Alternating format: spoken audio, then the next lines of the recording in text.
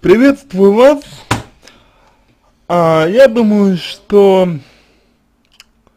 вначале я а, выскажу несколько мыслей по поводу общего впечатления от вашего текста, а дальше, а, после этого я а, пройдусь по а, вашему тексту и дам какие-то комментарии, вот, которые, а, надеюсь, вам, а, ну, помогут, а, которые, надеюсь, а, позволят вам а, несколько лучше а, посмотреть на ситуацию, а, которая у вас происходит, произошла. Значит, смотрите, а, первое, что а, мне хот хотелось бы отметить, это то, что а, у вас определенно есть а, достаточно четкая позиция. То есть у вас есть определенно достаточно четкая позиция э, по поводу многих моментов, многих разных моментов. Позиция эта мне показалась довольно жесткой, довольно такой одно, однозначной. Э, позиция мне показалась достаточно четкой. И я действительно поверил, поверил в то, что а, вы, а, ну, самодостаточный человек, что вы действительно знаете, чего хотите, что вы действительно понимаете, а, что вы хотите, куда вы идете и так далее. То есть я вот э, действительно в это, в это поверил. Но, судя по тому, что вы описали, судя по тому, что вы описываете, вызывает вопрос, ваша самостоятельность, вызывает вопрос ваша целеустремленность, вызывает вопросы э, ваши жизненные цели. Э, на это косвенно указывает и то, что вы э, в 22 года, даже 21 год, как я понял, э, переехали в Испанию. Э, нет никакой информации, указывающей на то, что вы там проходили обучение, что вы получили образование, что вы работаете по специальности, что вы растете в этом направлении и так далее. На это косвенно указывает и то, что вы работали официанткой. Правда, непонятно, кем вы работаете сейчас, но тем, тем не менее. Вот. А, то есть, как бы ваша самодостаточность, ваша сила а, не была результатом следствием того, что, э, что, например, в семье вашей, в детстве вашем, вы э, испытывали определенное давление и либо заставляли быть себя такой, по прописанию родителей, в действительности этого не желая, не желая либо э, став самостоятельной вопреки как, каким-то э, посылом ваших родителей. И, соответственно, э, двигались вы все это время в отношениях, да, не своим путем, не своими целями, а, например, целями мужчины. То есть, э, может быть, ваша цель это мужчина, понимаете? Вот. Что касается менталитета, то, вы знаете, здесь а, я соглашусь а, с вами.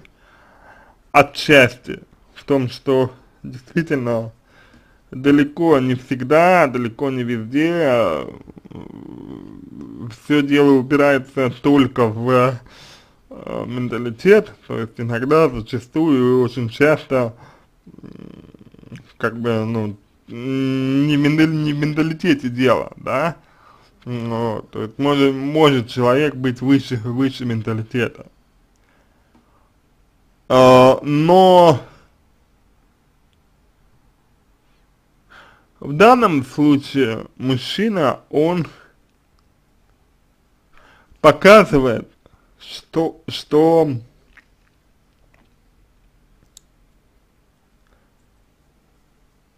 вы для него не партнер, что вы для него не, равня, не что вы ему не ровня. Как бы вам вот неприятно это было бы э, сознавать. Вот. Вы для него неравная.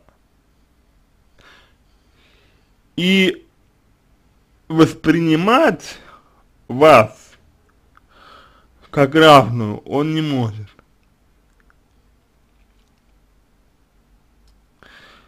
Так вы себя поставили. Или он так вас воспринимает. Я не знаю. Если вы э, целеустремленная и сильная личность, если вы всегда такой были, как вы говорите, то этим вы его, возможно, и привлекали. Своей силой, своей внутренней уверенностью, своей, своей целеустремленностью, знанием того, что вы хотите – то есть мужчина знал, мужчина знал, что вы готовы его принять, готовы создать уют, готовы дать, дать ему то, что нужно. На самом деле э, вопрос этот решается достаточно просто, в том смысле, что вам достаточно просто спросить, спросить у него, э, как он воспринимает женщин. То есть вот какую, какую, какое место, роль э, он отводит женщине. То есть, вот вы его э, любимая женщина, да, кстати говоря, не жена еще, что, что немаловажно, потому что вы ведете себя как жена, хотя вы для него не жена. Вы его любимая женщина, и он отвел для вас определенную роль. Неважно, менталитет, это не менталитет, он отвел для вас такую роль. А если вы хотите а, большей роли, да, а, для себя, то вам не только нужно отдаляться то есть какая-то вот холодность, да, какая-то манипуляция. Здесь на самом деле э, далеко не лучший расклад. Вам нужно просто больше заниматься собой. Вам нужно просто больше уделять внимание себе. Понимаете? То есть мужчина организовал свой быт в, в чужой стране, да, в Испании. А вы в Испанию переехали ради него. Смотрите, мужчина просто переехал в Испанию, да, вот, ну, ну, потому что он и хотел, потому что ему, ему это было нужно, к примеру.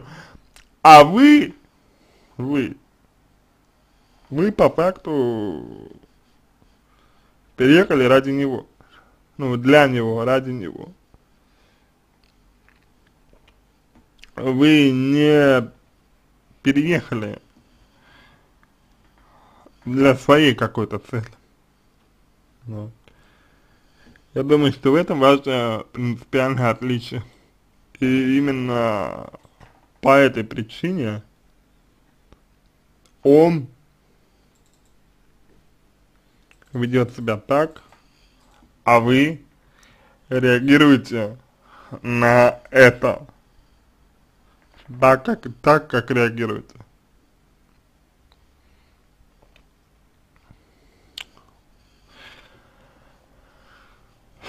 Теперь я, а, значит, пройдусь по вашему тексту, текст довольно большой, я его разберу и буду давать какие-то комментарии. Вы пишете, мне и моему парню 22 года, а, мы люди разных стран и религий, он из Казахстана, я русская. Ну, интересно, что вы сказали, что разных стран и религий, его религия, это понятно, а какая религия ваша, также вы не уточнили, верите ли вы в Бога или нет, это, ну, может быть, именно в вашем случае это действительно имеет какое-то значение. Вы пишете, что вам 22 года, да? Соответственно, очень важно понять. А, значит, вы говорите, что вы вместе два с половиной года, а, вот что между вами общего, что вас связывает, что вас объединяет. Знаете, очень насторожил меня вот эта вот, эта вот история, очень насторожила меня эта история, что э, ваше времяпровождение сводится только к тому, что секс поваляться перед, перед телевизором. Все. То есть такое впечатление, что между вами общего-то ничего и нет. Между вами нет никакого общего дела, между вами нет никаких общих целей, между вами нет вообще ничего общего. Понимаете? Может быть вам хорошо вместе, может быть э, вместе вам, вам идеально, но дело, дело никакого у вас общего нет. Отсюда возникает и вопрос о, о природе чувств. Ну, в данном случае чувств ваших и к нему. То есть, ну вот, вы, к примеру, вот, к примеру, вы, что вы к нему чувствуете? Что вы к нему чувствовали? Чего вы хотите по отношению и в контексте него? Хотите ли вы э, что-то? То, то есть то, что хотите, это очевидно. Меня интересует скорее, чего именно вы хотите. Вот. Короче говоря, здесь вам стоит подумать над э, природой ваших отношений с э, ним. Что это за отношения, на чем они базируются, на чем они основаны. Что есть фундамент. Если вы увидите, что э, фундамент, э, скажем так, э, недостаточно, да, если вы видите, что а, фундамента немного, фундамента немного, а его, судя по всему, то немного фундамента, то, ну, тут вот э, проблема, тут проблема. То есть нужно работать над фундаментом. То есть это может быть все что угодно, да, это может быть э, ваше дело, это может быть, э, например, э, ну, желание ему помочь, как я, как я понял, э, мужчина, он занимается э, индивидуальным предпринимательством, вот, мы, вы могли бы вызваться, вызваться помочь, помочь ему, ну, в чем-то, вот. Короче говоря, а мужчина в силу ряда причин не уважает вас как личность. То есть как девушка вы, вы ему нравитесь, как женщина, как женщина вас обожает, у вас потрясающая химия, я уверен, что у вас э, хорошая сексуальная совместимость, вот, вам хорошо вместе в роли, э, значит, ну, в роли муж, мужчины и женщины, вот, но как личность он вас не видит, и если честно, я не, э, не вижу тоже вас как личность. То есть вот вы, вот вы говорите, что вы сильная, самодостаточная, целеустремленная, да? А в чем это проявляется? Кроме того, что э, вы, э, ну вот, как вы говорите, э, значит, переехали э, к нему в э, Испанию, да, кроме того, что вы э, работали официанткой, и кроме того, что а, вы, значит, а, можете себя занять, ну, чем, чем-то, да, вот, а вот кроме этого, ну, я не увидел больше, не видел, чтобы у вас было какое-то дело с вами, не видел, чтобы вы организовывали свой круг общения, не видел, чтобы у вас были какие-то занятия, я не увидел этого. Может быть, вы этого не написали. Если вы не написали, то простите. Но мужчина не видит вас как личность. И может быть ему не нужна личность. Ему может быть нужна только женщина. То есть это тоже интересный момент. Вам 20 лет было, когда вы познакомились. Какие были цели желания у вас, какие цели желания были у него. Чего вы хотели для себя, чего вы хотели для него. Чего он хотел для себя, чего хотел для вас. Какими вы были два с половиной года назад, как, какие вы сейчас люди. Это очень важная история. Дальше. А, так, начали, начинают отношения длятся больше двух с половиной лет. А, начались они в России, потом парень приехал в Испанию, через год я решила приехать к нему, дабы быть вместе. Вот, вот ключевая, ключевая история. Понимаете, ключевая история. Я работаю с э, иммигрантами, да, вот, э, ну, в, из, допустим, России, там, из Украины, вот, э, с иммигрантами, с иммигрантами в, там, разные страны, Америку, там, Европу, да, вот, там, страны, страны Азии даже, есть, э, ну, клиентов, вот, и история здесь такая, что те, кто переезжает к своим партнерам, да, катастрофически становятся зависимыми э, от этих э, партнеров. Я не говорю, что это как бы, так сказать, э, ну, тенденция, не говорю, что это, так сказать, э, панацея, может быть. Но я говорю о том, что это в данном случае статистика в данном случае статистика, ну и элементарная логика, да, элементарная логика, то есть люди, в данном случае вы, вы, э, в отличие от своего мужчины, да, я об этом уже говорил, э, переезжаете в Испанию не, не потому, что вам там что-то нужно, что вы там видите для себя перспективу, а дабы быть, быть вместе, вы переезжаете. И, наверное, вы считаете для себя это адекватной целью. Я вас разочарую, нет. Для сильной, целеустремленной, независимой личности это неадекватная цель. Неадекватная цель ехать в другую страну, да, а, соответственно, да, менять свой быт, подстраиваться там и так далее, там что-то еще, неадекватно. Все это делать ради того, чтобы быть вместе с кем-то.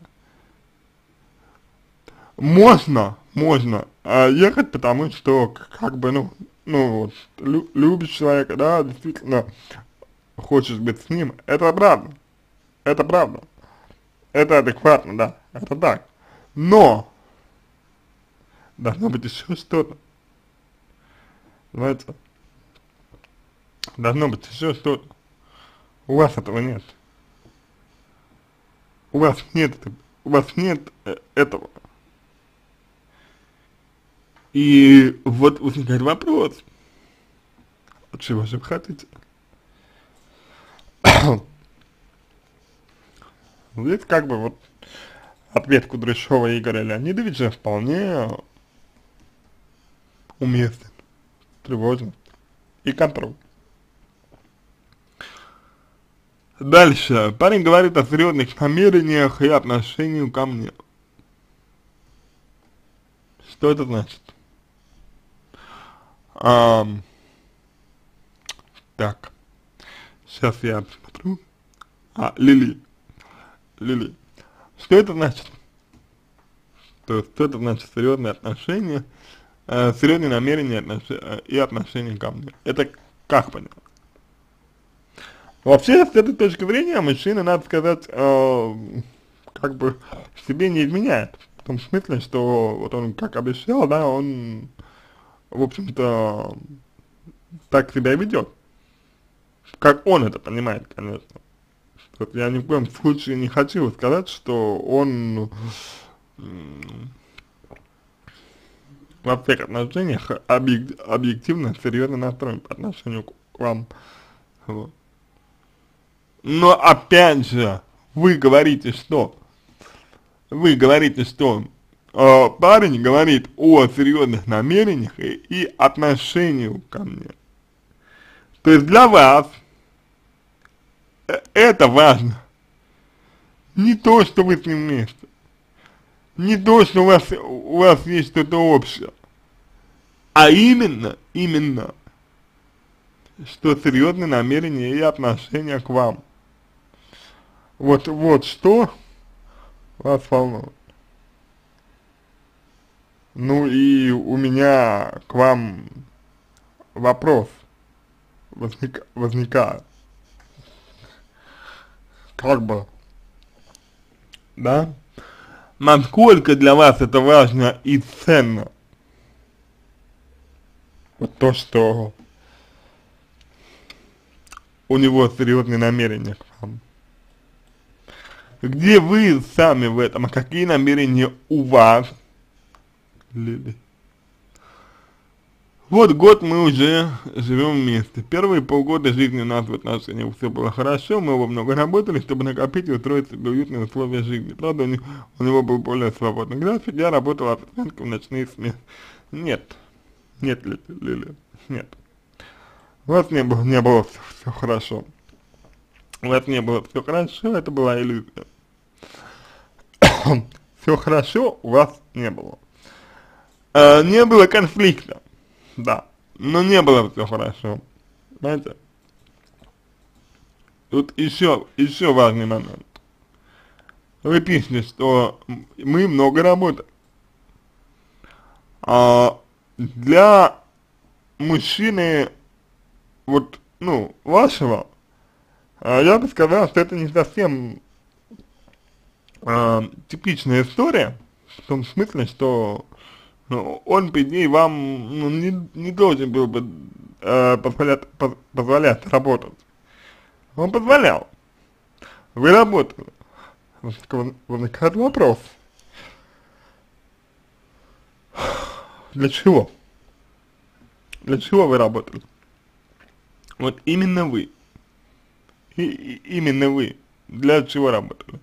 именно вы зачем работали. Это важно. То есть вы работали для того, чтобы создать себе уютные условия для жизни. А нужно работать было, чтобы вот, ну, если вы, к примеру, хотите, да, чтобы эта вот ситуация, чтобы она не повторялась, к примеру, а нужно работать для своего развития. Не для материальных благ каких-то, а для развития. Потому что блага будут, а дальше что? Вот и скажите мне, а, вам, а, допустим, а, нравится ли работать официанткой? Наверное, нет. А какая перспектива ваша в этой работе? ну, есть, есть ли она, эта перспектива в работе у, у вас, понимаете, да, момент. То есть ваши отношения к, работе, его отношение к работе. Мой парень невероятно общительный человек, и количество друзей и знакомых у него просто огромное. И вы об этом знали. Вы, вы знали о том, что ваш парень невероятно общительный человек. Возможно, именно поэтому э, он вас привлек. Вот у меня вопрос. А что вас, что вас привлекло в человеке? Что вам понравилось в человеке?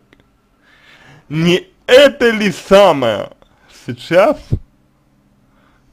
делает вам больно. Не это ли самое сейчас э, мучает вас? Дальше. А, в те первые полгода он часто ходил гулять с друзьями, в то время без, э, без меня в 99% случаев, как я работала, и как бы он и я находили оправдание этому, я должна идти на работу. Вот. Понимаете, как, какая история? Проблема это уже была, проблема это уже была, просто, просто вы находили этому оправдание. То есть пока у этого оправдания были, все было нормально. Вы сами, да, э, создали как бы иллюзию вот эту, вы сами создали как бы э, идеальную картинку. Но я уверен, что уже, уже тогда, я уверен, что уже тогда вы подозревали, что э, ну, что-то не так. Уже тогда вы чувствовали, что э, что-то неправильно идет. Вот.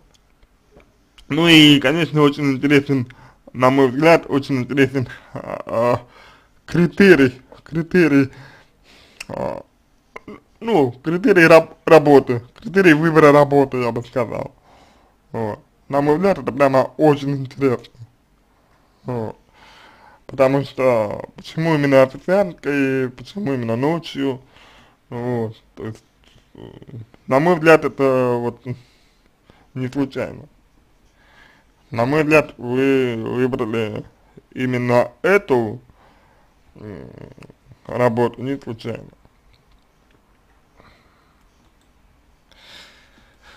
А, дальше идем.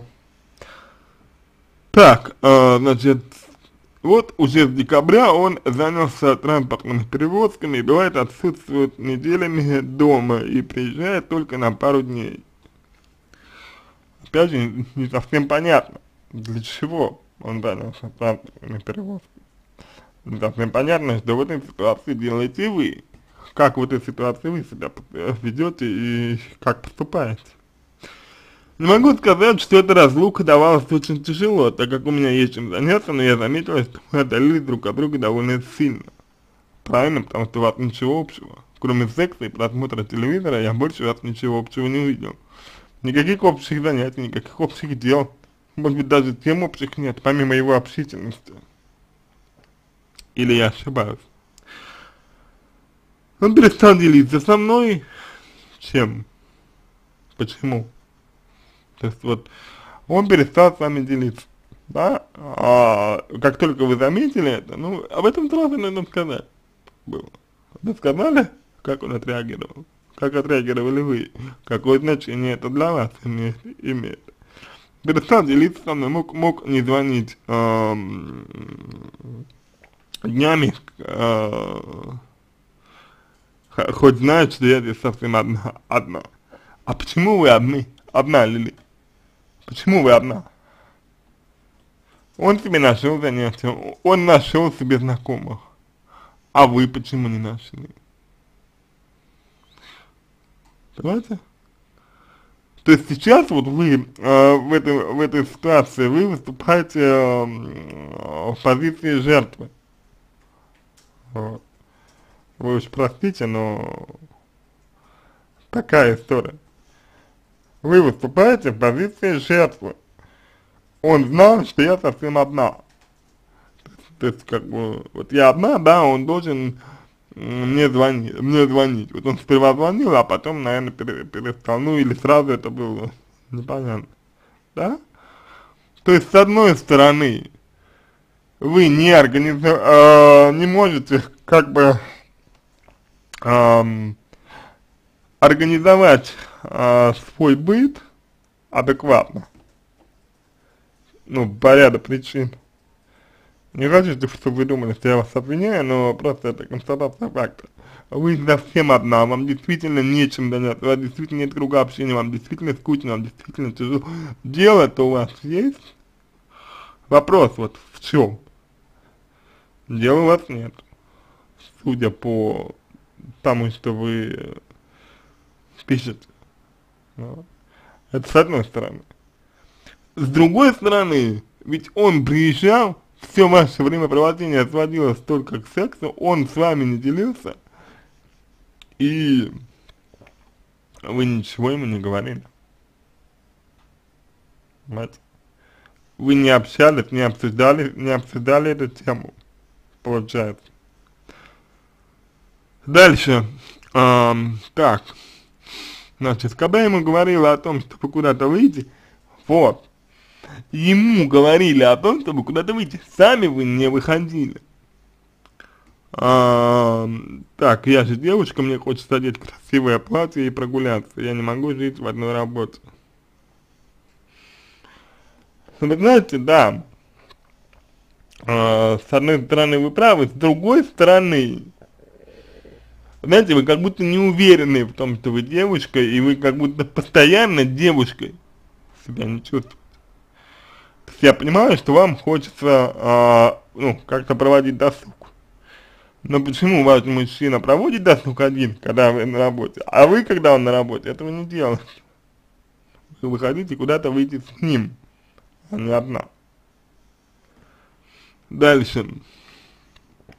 А, так. Он говорил о том, как, как устал от жизни в фуре и хочет быть дома. В этом случае я просто закрывал эту тему. Минуточку. А по какой причине вы закрывали тему? То есть, по сути, вы шли на жертву. По сути, вы наступали на горло своим желанием и переживанием. По сути. Вы, э, правда? вы наступали на горло тому, что хотели. Вы наступали на горло тому, что вам хотелось. Почему-то. Почему так? Но все, что он устал, это его выбор. Это, вы, это его выбор на работу. Его никто не заставлял работать э, на, ну, на фуре. Вот. Так почему же? Почему же а, вы закрывали тему? По какой причине вы закрывали тему? Ведь ваше желание никуда не уходило, правильно, ваше желание, оно как было, так и оставалось, верно? Верно. Сами вы его не реализовывали, свое желание. То есть сами вы не, ну, ну, продолжали э, не выходить никуда. А ему, стоило ему э, вот, ну, сказать вам такую вещь, что я устал там от жизни в фуре, вы сразу закрывали систему. И заметьте, что вы, заметьте, что вы, а, так, вы никак это не поясняете. То есть вас это, вас это даже не волнует. А это принципиальная история. Вы поступ, поступаете своими интересами здесь и даже не замечаете. Больше всего меня волнует его вечные походы с друзьями. Это сравнение себя с другими соперничество, а по итогу стыд. По итогу стыд. Вам стыдно, вы себя не принимаете до конца, такой, какая вы есть. Мне кажется, что они всегда на первом месте. Они не на первом месте, Лили. Они на своем месте. Знаете? Первого места нет. Но для вас это место есть. Конкуренция, соперничество, борьба, сравнение. Понимаете? Сравнение себя с другими у вас присутствует. Вы сравниваете себя, ладно, я бы еще понял, если вы сравниваете себя, сравнивали бы себя с девочками. Ладно, но вы сравниваете себя с друзьями. Вы говорите, они, они всегда на первом месте. Понимаете? Вот. Ну, друзья есть друзья. А почему вам а, например, не сделать их своими друзьями, к примеру, да? То, есть, а, например, не, попро не предложить своему молодому человеку пригласить их а, к вам, завести с ними, с ними беседу, чтобы они потом захотели пообщаться и с вами тоже. Но нет, этого вы не делаете. А почему вы самой, например, вот когда молодой человек уходит, да, самой не пойти, не пойти погулять и не встретиться с, с его друзьями, например? Нет.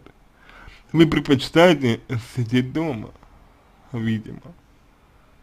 А еще вы предпочитаете вот переживать по поводу того, что они у него всегда на первом месте. А кто должен быть на первом месте, по-вашему? Нет, ну хорошо, если человек выбирает, да, допустим, выбирает женщину в качестве первого места. Тут как бы точек, точек зрения много. Но вот для него, для него, друзья на первом месте, это его выбор. Я вам даже больше скажу, он э, не может отказать просто. Я работал, с, работал и работаю с э, людьми, э, вот как ваш молодой человек, да, я могу точно сказать, что он, он может и, хочет отказать иногда, но не может.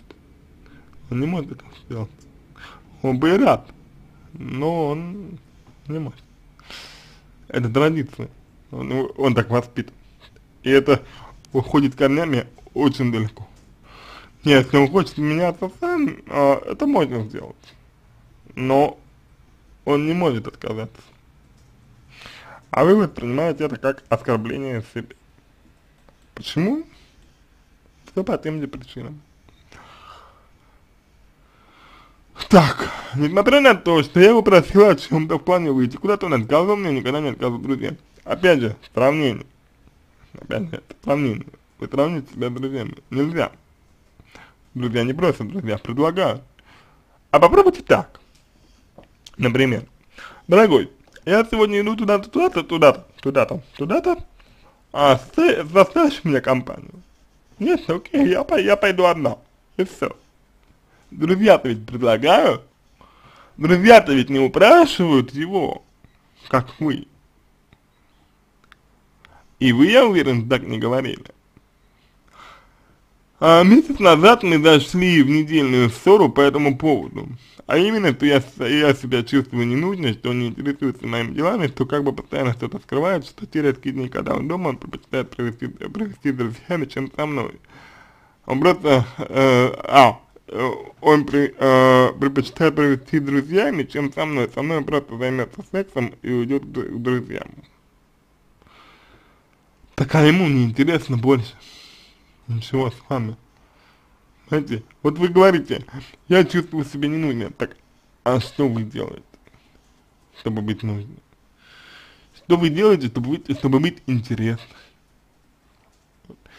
Но вы же не считаете своего мужчину настолько э, низкоинтеллектуальным человеком, что э, он просто не оценивает ваши интеллектуальные способности и не видит ваш духовный мир. Ну, серьезно. А, это первое. Второе. Вы зашли в ссору. Не мы, не мы зашли в ссору, а Лили зашла в ссору, да, потому что чувствует себя ненужной и пытается скомпенсировать чувство ненужности, э, требует чего-то от молодого человека, от мужчины. Вы считаете это адекватно? Ну, вы можете так действовать, вы можете так поступать. Мужчина все больше и больше времени будет проводить со своими друзьями. Вот. Чем больше вы на человека давите, тем больше будет отдаляться. Нужно отпустить, чтобы он перестал. Нужно не просто отпустить, а показать, что вы движетесь сами. Показать, что вы самостоятельны, он не чувствует, что вы самостоятельны. А, так, мы уже даже были расстались на пару дней, но потом он сказал, пытаться сделать так, чтобы я чувствовал себя лучше. Ну, это вот позиция родителей. То есть вы э, стимулируете своего мужчину к на то, чтобы он был для вас родителем, а вы ребенок. Скажите, можно с ребенком спать? Можно ребенка уважать? Можно ребенка ценить? Можно относиться э, к ребенку как к равному? Дальше. А самое главное, что это же он делает, чтобы чувствовать себя лучшим, не вы.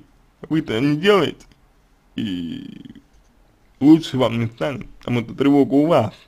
Чтобы не делали другие люди, все это лишь только а, на поверхности лежит. Я, я вижу, что якобы он пытается проводить вре, э, времени со мной чуть больше. Вот тут якобы он пытается проводить со, времени со мной чуть больше. То есть понимаете, да, что вы с одной стороны его принуждаете, с другой стороны вы ему не верите. Полный раздрай в ваших чувствах и в ваших собственных ориентирах. Ну вот полный. А, на днях у него был день рождения. У, у него, Лили, у него был день рождения. Он говорил, что не хочет праздновать, что проведем ему этот день вдвоем. И вы поверили, конечно. И вы поверили, что он не хочет праздновать этот день рождения. Зная, что он общительный, зная, что у него куча друзей, вы поверили. Или хотели поверить. Или хотели, хотели поверить. Потому что иначе опять бы тревожились, опять сравнивали себя, себя и так далее. Я хотела устроить его, ему романтичный вечер, вечер, сняла отель с безумным видом и спа. Хорошо. Только ответьте мне, пожалуйста, Лили. Вы сделали это для него или вы сделали это для себя? Если для него, то он вправе распоряжаться подарком так, как хочет. Хочет воспользоваться, хочет не воспользоваться. Для кого сделали подарок? Для кого хотели устроить романтичный вечер? Вот вы пишете, что ему. А ему ли? Дальше. За два дня до ДР он мне сказал, что он уедет работать в этот день, так как он не может взять выходной. Я отнеслась с пониманием. Так. Здесь не совсем понятно, сказали вы ли вы ему, что приготовили подарок. Вот. А, но потом оказалось, что вдруг приезжают его друзья, и он будет праздновать с ними, меня он не возьмет. А почему? И уже может взять выходной. Мне стали очень обидно, так как он опять поставил их на первое место. То есть, все-таки, его день рождения вами воспринимался как средство получения чего-то для себя. Понимаете, вот насколько вы завязаны на другом человеке, насколько вы себя обделяете. То есть вы через него пытаетесь для себя получить что-то, для себя обеспечить что-то. Напрямую нужно это делать. Далее, обидно. Ну, э, обиды это вообще ожидать. То есть вы ожидали, что он действительно в свой день рождения будет работать. Вы ожидали, что к нему не приедут его друзья на день рождения. Это при том, что у него их много, и он очень общительный человек. Лили, вы серьезно? Вы серьезно даже не предполагали, что вот могло произойти то, что произошло? Лично мне кажется, что нет. Я без ссоры сказала ему, как это неприятно, э, как это неприятно. Он же поступил очень хорошо, хорошо. Празднование перенес на день перед этим, устроил вылазку на природу, позвал меня и еще некоторых девушек-друзей и пообещал, что его день рождения мы проведем вместе. Лили, ну вот здесь я, пожалуй, соглашусь с, с коллегой Кудряшовым Игорем Леонидовичем, что это просто манипуляция. Человек хочет провести день рождения так, как хочет он, вы говорите, что вам неприятно, и он из-за того, что вам неприятно, откладывает свой день рождения. И обещает вам, провести его так, как хотите вы. Не так, как хочет он, а так, как хотите вы. И вы считаете, что это поступок очень хороший. Вот, извините, но кроме как давлением на, давлением на человека и э, вызов, вызовом у, у него чувство вины с целью получить то, что нужно вам, назвать это не, не, невозможно, невозможно. Дальше. Для меня этот жест был безумно приятным и значимым безумно приятно. Значит. И вы уже как бы забываете, что речь идет вообще-то о его дне рождения, а не о вашем. Это его праздник, а не ваш. Это его нужно радовать, а не вас. Понимаете? Но вам это нужно. Почему? А очень просто. Потому что себя вы не радуете, потому что у вас своего ни ничего нет. Я не обвиняю вас, я понимаю, почему вы э, так поступаете и почему вы так э, стремитесь к этому. Я понимаю. Но и вы поймите, что таким отношением, таким, таким давлением вы э, будете только женой, которая ждет э, своего мужчины с работы, с которым, которым он занимается сексом, потом у вас будут дети и все. С таким отношением вы будете такой. Дальше, день, день рождения, э, в день его рождения друзья э, звонили и звали его в бар, он поначалу не отвечал, в, один, э, в 11 вечера начал собираться к ним. Ну и что? Ну, ну и что? Разве он не может? Знаете, не хочу быть, и, не хочу быть эгоистичной и мелочной, я понимаю его, он, но он обещал другое. Это его день рождения вообще-то. Вы своим поведением вынуждаете человека ставить себя в, в, в положение, положение, когда он обещает вам то, что нельзя. А если бы не пообещал, что было бы? А было бы испорчено день рождения его. Понимаете?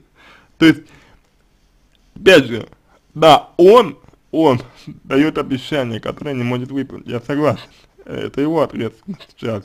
Но мы-то здесь говорим про вас, поэтому, про, говоря о вас, я хочу сказать, что вы вынуждаете человека давать те обещания, которые вы точно знаете, вы не можете не знать, он не выполнит. Ну и зачем так делать? Для чего? А для того, чтобы его обвинить. Для того, чтобы его обвинить и, опять же, прийти к позиции по итогу, что вы недостойны. Это ваша позиция, что вы недостойны, что вы не на первом месте и так далее. Но вы поймите, если вы себя сами не, не чувствуете на первом месте для себя и не ставите себя на первое место сами, если у вас есть чувство стыда, сомнения, если у вас есть зависимость от другого человека и так далее, никто вас на первое место не поставит. Вас могут идеализировать, но идеализация это не на первое место. А, я весь день просила его, давай выйдем куда-то из дома, он не хотел, а тут с удовольствием собрался. Опять же, опять же, вы просили его, давай выйдем, но сами вы не пошли. Вы не собрались, не поставили его перед фактом, сказали, я вот иду туда, ты со мной или нет. В этом не сделано. Неужели вы думаете, Лили, что он не пошел бы с вами, если вы поставили перед фактом его? Но, неужели? Но вы этого не знаете, вы даже не попробовали. А почему? Может быть, боитесь, что, что он не пойдет? Может быть, боитесь, что он не пойдет и что вы будете чувствовать себя еще хуже? Риск нужен, риск, вы не рискуете. А, он сказал, что они ждут, и я как любящая девушка должна была сама сказать иди. Ну, здесь он, конечно, не прав, потому что ждать вас от, э, ждать от вас такого не имеет смысла. Вот. Э, но, еще раз, э, учитывая его особенности, учитывая его э, национальность и учитывая день, вот, ну, ожидания его, скажем так, э, ну, ожидания его э, типично, типично. А, правда, мы подняли тему менталитета впервые в жизни, он э, говорит, что у него много друзей, он хочет с ними проводить время, что ему хорошо со мной дома, ему уютно и комфортно, что он когда э, будет хотеть вернуться э, ко мне домой, но у них такой менталитет. Это правда. Он с легкостью э, делит всех девушек на два типа, те, те которым хочется, хоч, хочется вернуться домой, и тех, кто с кем хочется набухаться где-то в клубе и потусить. Ну, вы знаете, да, это, это тоже правда. Я не могу это понять, так как у меня есть примеры знакомых семей с подобным менталитетом, где жена ждет его дома с детьми, а он каждый вечер гуляет с друзьями и снимает вас всех девушек. Так вот, Так вот, почему вы не можете это понять? Вот у него, ими, у этого мужчины именно такая девочка, которой не хочется возвращаться домой. Что вам не понятно? Но она себя так поставила, что к ней не хочется возвращаться. Она себя так поставила, что она неинтересна мужчине. Понятно, что там и у мужчины проблема. Но так вы же говорите, вы же только на мужчину сваливаете, что она его ждет, не надо никого ждать. В том-то дело. Никого ждать не надо. Она ждет, ну ждет, ну вот ждет, все. Мой парень говорил мне о том, как я ему дорога и как ему хорошо со мной, да, сказал, что любит. Он говорит это крайне редко. Правда, убили меня его слова о том, что даже если когда-то он изменит, мне, то все равно вернется ко мне. А убили-то почему? Потому что боитесь потерять. А потерять боитесь почему? Потому что боитесь одиночества. А одиночество боитесь почему? Потому что вам некомфортно самой с собой, потому что вы сами для себя свое личное пространство не организовали. Своим личностным ростом, своим развитием вы не занимаетесь. Отсюда и проблема. Ну, а там еще стыд примешивается, тут еще вот вы пишете, что а, так, я не верю в менталитет в этом случае, мне кажется, тут скорее дело удобно-неудобно, то есть это уже родитель пошел, это уже пошли вот такие вот ригидные установки, да, то есть типа вот, что вот это так, вот если это не так, то вот так, то есть при, э, перестали вы учитывать особенности человека. А, ну и, соответственно, убили слова, да, то есть вот это вот очень важно это чувство поисследовать. А, в начале отношений он говорил о том, как ему повезло, ведь она может чувствовать себя уютно по-семейному и погулять и оторваться хорошенько. Так. А вот что это значит? То есть ему уютно по-семейному, и погулять, и оторваться хорошенько. Что это значит? Если я вас правильно понял, то значит это только одно. Что человек, с одной стороны, видел вас раньше тепло, уют и семью, с другой стороны, оторваться и погулять хорошенько, то есть друга. Но, по мере того, как мужчина к вам привязывался, по мере того, как мужчина, э, возможно, испытывал к вам, начал испытывать к вам все большие чувства, он перестал видеть вас друга, он перестал видеть вас ту, с кем можно оторваться хорошенько, хорошенько и погулять. Такой у людей менталитет. Такой у него менталитет. Это менталитет. Я понимаю, что выложила а, много всякого, немного запутанного, но не знаю, как себя вести дальше. А дальше ведите себя так, что делайте то, что хотите, сами, для себя. Его оставьте перед фактом, что вы это делаете. Предлагайте ему либо разделить время с вами, либо остаться. И все. И увидите его чувства. Увидите его суть. Вот. Либо Э, человек будет стремиться вас э, подчинить, либо он разделит с вами э, ваши увлечения. И вам будет более интересно, кстати говоря, вместе. А если вы покажете, что вы хорошая тусовщица, то вообще будет замечательно. замечательно. Дальше. А, я не хочу быть женой, покорно э, ждущей дома э, мужа в гулянах, но я понимаю, что не могу с ним говорить и ругаться вечно, вечно об этом, так как могу разрушить его хоть какие-то попытки сделать что-то лучше. А вы что делаете? Вы, вы делаете что-то, чтобы, чтобы было лучше? А, я никогда не говорю ничего, когда он ставит на, на первом месте друзей, которых он знает давно и подальше меня. Опять, это опять. Вы опять решаете за него, каких друзей можно ставить, каких нет. Это родительская позиция, это родительская установка. Надо. Если он знает э, кого-то дольше меня, надо ему позволить. Если он знает кого-то меньше меня, надо обижаться. Нет такого. Человек сам определяет, кого он ставит, а кого нет. Вы, вы здесь не решаете ничего.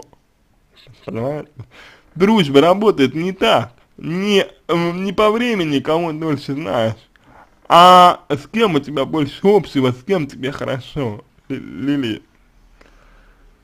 А, так, ну когда, к примеру, НДР предпочитает не, держать свои обещания ради людей, которых он знает пару месяцев, мне, мне обидно не от того даже, что мы не провели день так, как хотел, так, как я хотел.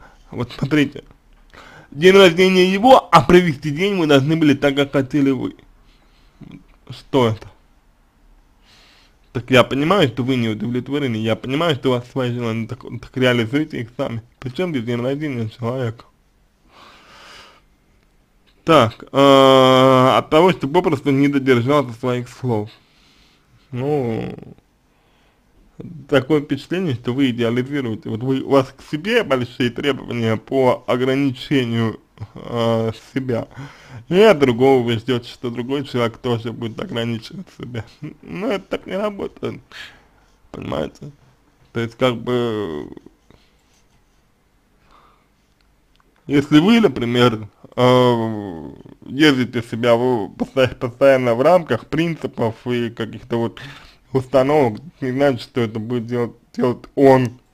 То есть нельзя требовать от человека того, что вы требуете себя, да, то есть если вы постоянно, если вы держите, э, ну, держите свое слово, не значит, что другой человек будет делать то же самое. Вот. И опять же, какое значение для вас это имеет? Ну, не, не, держал, не держал обещание, ну и что? Если вы его меньше уважаете от этого, если вы меньше ему доверяете, так и скажите. Так и скажите, что ты не делаешь свои обещания, не могу тебе больше доверять. доверять. И, соответственно, отдаляетесь от него. Значит, просто жалоба. Я думала, что можно изменить, возможно, мне отдалиться от него надо. Я думала, что можно изменить себя себя отдаляться не нам, не обязательно. А, или тут уже нет шансов. А, шанс есть всегда, но люди не меняются. Вы изменить можете, а, сами измениться. Его, он изменится только если захочет сам. А, честно, меня эта ситуация разрушает. Изнутри я потерял эмоциональный баланс, не могу ничего делать, как только думаю об этом. А почему вы думаете об этом? Вот почему вы потеряли эмоциональный баланс? Что за конфликт у вас присутствует? Что с чем конфликтует? Кто с кем конфликтует внутри вас? Какие чувства вы испытываете? Возьмите на себя ответственность за это, за это чувство. Есть только чувства, нет, нет, нет парня. Нет парня, нет страны, есть только вы и ваши чувства. Вот возьмите э, на себя эти чувства. Они не связаны с молодым человеком, они связаны лично с вами. Что это за чувство? Что это за эмоции? Что это за переживания? Почему вас это так задело, что вы не можете ничего делать? А я вам скажу, что у вас никогда не было любимого дела. У вас никогда не было чем вы хотели заниматься. Вы никогда не делали то, что вам, ну, то, что вам нравится. Вы никогда не делали чего-то для себя, возможно. Знаете, потому отсюда вся история. Я чувствую, как эта ситуация рушит меня и мой покой. Не эта ситуация. Не это. Покоя у вас не было. Покоя у вас не было никогда, видимо. Если какая-то ситуация может, может ваш покой разрушить, то покоя не было никогда. Покой может разрушить развод, может разрушить свадьбу, может разрушить война, может разрушить а, там банкротство, например, может, да, это да, это серьезные глобальные изменения в жизни, но здесь ничего не меняется, здесь было как и было, понимаете? Также э, не совсем понятно, о какой именно ситуации вы говорите. То есть вы пишете, что, э, честно, меня эта ситуация разрушает изнутри. А какая именно ситуация? Мужчина, он такой, какой он был. Мужчина ничего экстраординарного не сделал. Если вы про измену, про то, что вот он, ну, говорит, что если он изменит, он захочет верну, вернуться к вам, если этого, то это, опять же, я уже говорил, страх его потерять. Если вы про его э, поведение в целом, так оно всегда такое было. Поэтому здесь, пожалуйста, ну, поподробнее, что именно за ситуация, что конкретно. А, я всегда была очень сильным, самодостаточным, жизнерадостным человеком, много путешествий, у меня был большой круг интересов и, и э, занятий. А наедине, это была моя мечта. Не очень понятно. Не очень понятно. Ну, здесь просто вы непонятно написали, что вы имеете в виду. Я даже э, никак не буду это интерпретировать, потому что тут ну, может быть что угодно. Вы пишете, что много путешествовали, у вас был большой круг интересов и занятий. Может быть. И что изменилось? А не потому ли вы много путешествовали, что от себя бежали все это время? Раз вы вот к человеку так быстро переехали. Вам 22 года, вы много путешествовали. То есть вы не учились, вы не получали специальность, вы не развивались, вы как бы не становились э, специалистом э, высокого класса в, как, в, какой, в какой-то области. Вот. Вы не реализовывали. Путешествия и круг, круг интересов и занятий, э, большой круг интересов и занятий, это здорово, но это не реализация, судя по тому, что вы пишете. Вот. Вы пишете, все повернулось так, что я чувствую себя разбитой и нет желания ничего делать. Нет, не все повернулось так. Это вы повернули так. Видите, как вы уходите от ответственности? Это же ваш выбор. Ваш выбор был связать себя с этим человеком. Ваш выбор был приехать к нему, переехать, приехать в Испанию. Ваш выбор был э, ничего не менять, когда он там, первый раз предпочел, например, вам друзья, вас э, э, ну, друзей вам предпочел, да, ваш выбор был не ходить никуда самой, ваш выбор был просить, просить его, ваш выбор был давить на него, это все ваш выбор, это цепочка ваших выборов, так что ничего само не повернулось. А, пыталась понять, если э, будущее у нас, будущего нет, есть только здесь, здесь и сейчас, будущего нет, есть будущее у вас лично, или, и, и все. Нельзя жить с кем-то ради будущего, мы живем с кем-то ради здесь и сейчас. Я знаю, если у нас будет так продолжаться, то я не вынесу все это. Что именно будет продолжаться, чего именно вы не вынесете, как это проявляется или проявится. А я верю, что люди так и меняются, они должны понимать, для чего это. Нет, люди не меняются люди меняются, если они вот, э, ну, вступают в определенный кризис, если они хотят что-то в себе менять, если им плохо, люди меня, меняются. Вам плохо, вам меняться. А молодому человеку зачем меняться? Ну, все хорошо, его все устраивает. Так, я знаю, что я поменялась ради него кое в чем. И вопрос заключается в том, вы поменялись ради него кое в чем, себе во вред или нет. Если во вред, то, то это жертва которая обусловлена только вашими личными желаниями, и за эти перемены вы от него чего-то ждете. А если вы менялись ради него и вам это не вредит, то об этом не стоит вспоминать. Заметьте, как вы перечисляете это. Вы говорите, я для него поменялся э, кое в чем, и что? Почему вы об этом говорите? Зачем вы об этом говорите? Понимаете ли вы, что это, что это уже торг идет? Это именно торг.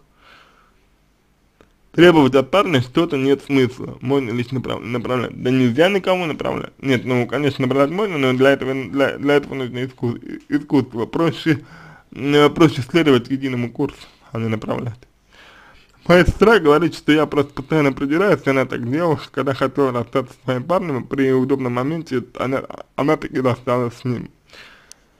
Э, значит, смотрите, первая ошибка. Вы рассказываете об этом сестре. Это первая ошибка. Вторая, вторая, второй момент. А, я лично думаю, что вы не хотите, может расстаться. Но вы используете эти аспекты для того, чтобы подтвердить свою позицию, свою жизненную позицию. Например, позицию, что вы никто, ничто, и вообще отношения вы недостойны, к, к примеру.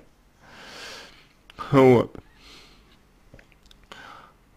Вы пишете, я могла это сделать сто раз, но постоянно, когда речь заходит о расставании, я закрываю тему. Почему? Вновь вы не, не поясняете. Вы пишете, я могла расстаться сто раз. Значит, вы расстались сто раз. Значит, вы расстались. Если вы это говорите, вы расстались. Вы не говорите, что вы его любите, кстати говоря. Вот он говорит, что вы любите, а что он любит вас, а что вы его любите, вы не пишете. И, и если вы пишете, что я могла это сделать сто раз, расстаться, значит, вы расстались и удерживал вас только ваши потребности, ваши желания. А теперь, внимание, вопрос.